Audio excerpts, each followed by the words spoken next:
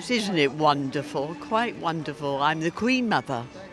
And uh, apart from the rain, it's all blissful. It's a terrible responsibility because everybody loved the Queen Mother so much. And she hadn't given an interview since 1923.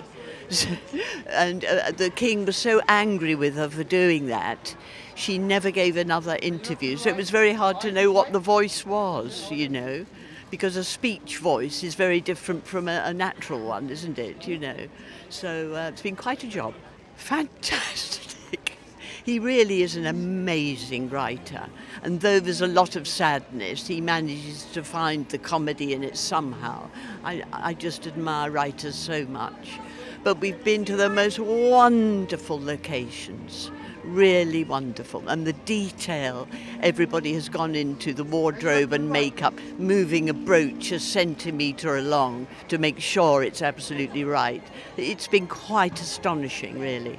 Ladies and gentlemen, you're watching HeyUGuys! Hey You Guys, huh? Hey, you guys. Is that yeah. from the Goonies? It is indeed, yes. Nice.